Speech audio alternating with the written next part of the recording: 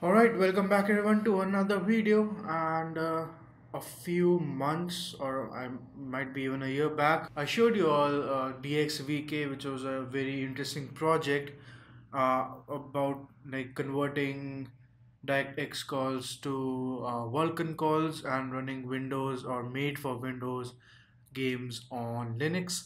And uh, since then a lot has happened. Uh, Steam has kind of taken over the project. Uh, they are contributing heavily both in terms of engineering and monetary resources.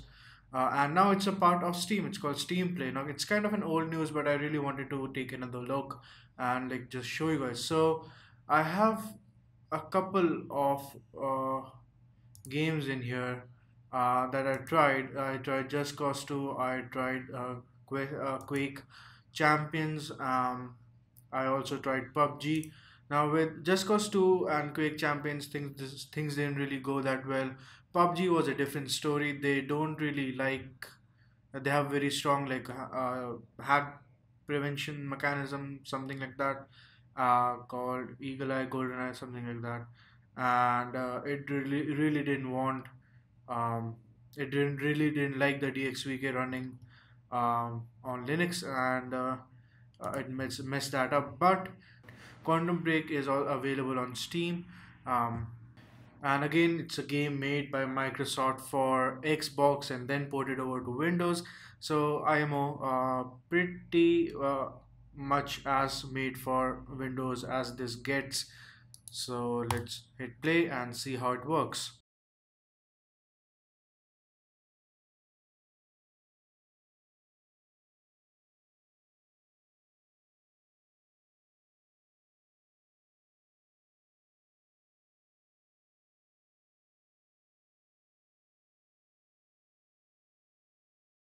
So, so far so good. Uh, all of that looks fine. Uh, I don't know if the FPS is clearly visible, but it's on the top left corner. And you can see the intro and everything is at 30 FPS. And the game just uh, starts into the uh, menu. And we can go and take a look at option. And uh, we can turn off a few things. I've pretty much everything at uh, as, as, as low as possible. And uh, we have the resolution at 1280 by 720 this is as low as low as it gets. Uh, exclusive full screen mode will VSync. I've turned off uh, 30 FPS lock. I've turned off. And uh, HUD visibility is on. Subtitles I've turned off. Now whatever you see medium here actually just means uh, low because there's nothing lower than medium in most of the settings. And I have also turn, going to turn off anti-aliasing and upscaling and film grain and that should be good to go. So now let's go ahead and continue part one and uh, let's see how it works for us.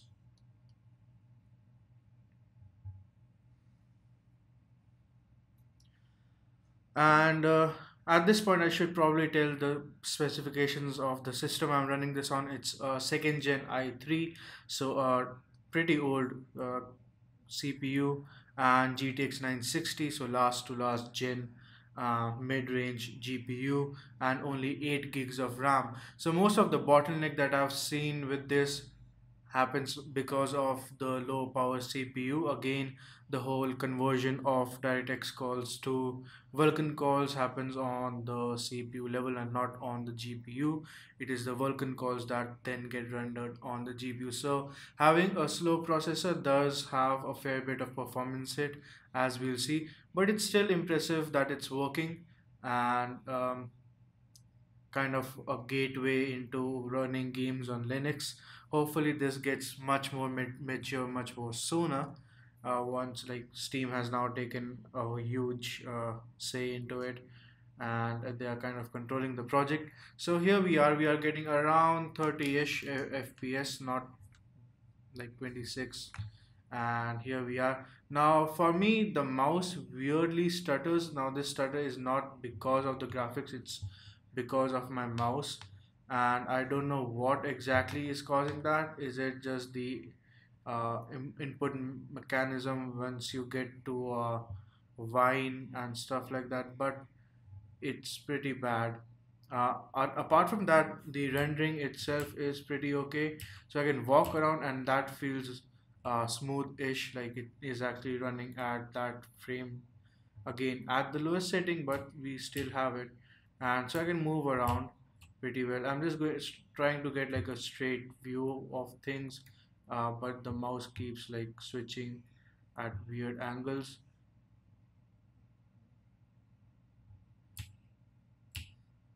And I can again as I said move around. Uh, I think that is a good of an angle as I'll get. Uh, now moving with the mouse is going to be tricky in this situation. Let's see if we have any other head controls uh, which doesn't seem to be the case. So for a lot of the part I'll be moving sideways. But again you get the idea. It's running pretty well uh, even considering that I only have a core i3 uh, the mouse input can be improved by a lot uh, but in this case it's just not there of course on my uh, on my Windows installation it goes up to 60 at high. I have not done this on ultra. It goes up to 60 fps on high. And it doesn't really do a very well job of maintaining it but it definitely remains between 40 and 60 so uh, this is kind of fairly low uh, graphical settings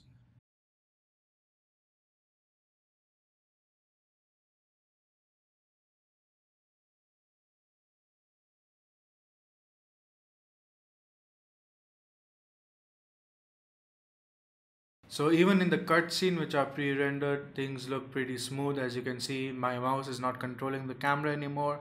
So animations and the graphics are pretty smooth uh, at 30 FPS.